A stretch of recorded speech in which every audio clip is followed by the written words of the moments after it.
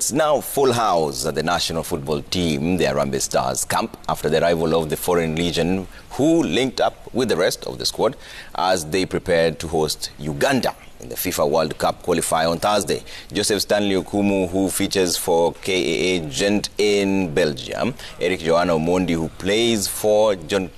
Kopping Sondra in Sweden, Michael Olunga, who is based in Qatar, Marcelo Ouma, Richard Odada, Kenneth Muguna, Masud Juma, and Ian Otieno arrived yesterday ahead of the clash against the Cranes.